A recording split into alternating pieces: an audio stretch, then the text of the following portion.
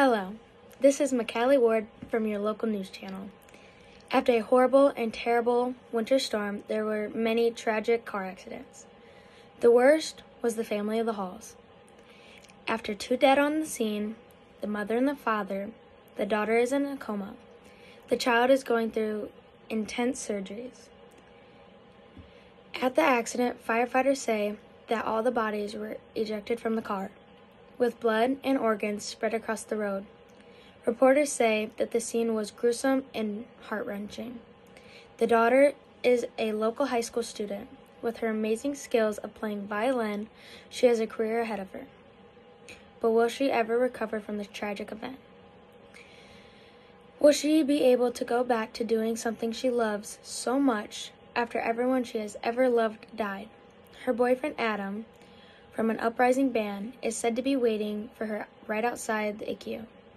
As of now, however, there will not let any they will not let anyone in to see Miss Hall.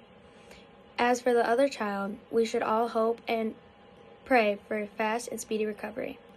We will update you here next on your local news channel. Stay tuned for more information.